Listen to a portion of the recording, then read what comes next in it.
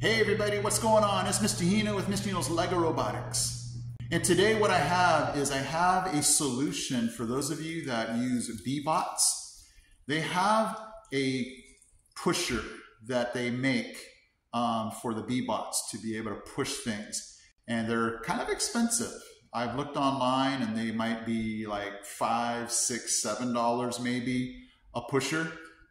So, you know, everybody's just watching how much they spend. Today, I have a solution if you don't want to spend all that money and still want a pusher for your Bee-Bots.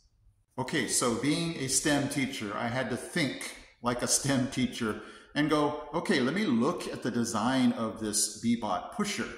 And I'm like, okay, it just needs to be attached to the Bee-Bot and be able to push something. And so I'm thinking, you know, I don't, you know, want the Bee-Bot pusher company to be upset at me, but I thought, you know, there has to be an easier, more or less expensive way. And so it's just going to involve a paper towel or toilet paper roll. And I'm going to show you what I did with this to get a very cheap Bee-Bot pusher.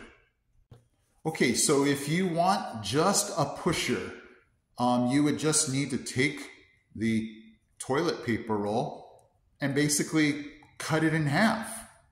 So you have kind of like a bulldozer or a snow, you know, pusher type front to it. Um, but I know what you're saying. You're saying, well, but you know, there's nothing on the sides to keep whatever they're pushing, um, you know, from sliding off to the side. And so I did a different design where I just cut the toilet paper roll a little differently to give myself or the, the pusher in the front, I gave it a little bit of a border to it or side kind of protectors to keep whatever the Bee-Bot's pushing enclosed in that pusher.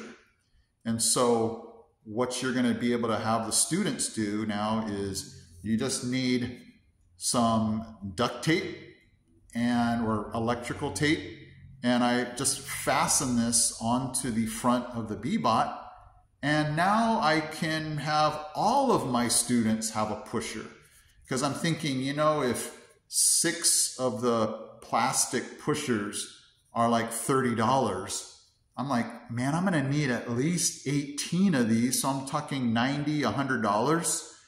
And so I thought there has to be a cheaper way. And now every student, you know, I was thinking maybe I can just have six kids with a pusher. And then I thought, well, that's not fair. And so now I can have a pusher for everybody. So if you want to have your students push off things, um, you know, maybe they'll, they'll code their Bee-Bots to push things off the mat.